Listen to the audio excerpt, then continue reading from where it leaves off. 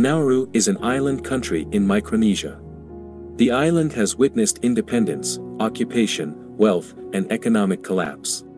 Nauru's economic downfall resulted from declining mining and the termination of offshore banking, leading to debt, job scarcity, import dependency, and population health issues like poverty, diabetes, and obesity.